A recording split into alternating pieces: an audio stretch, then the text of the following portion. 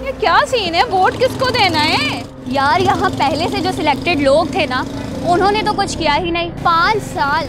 हालाँकि हल्के से बजट तो मिल रहा था ना, लेकिन ना गवर्नमेंट हॉस्पिटल्स बनवाए, ना स्कूल कॉलेजेस ठीक करवाए। बात तो ठीक है। आजकल एक पार्टी बहुत दावे कर रही है। आई नो यार चीफ जस्टिस साहब ने ही तो उनके पोल खोले थे। लेकिन हम वोट सिर्फ़ उसी को करेंगे, जो भागा नहीं, डटा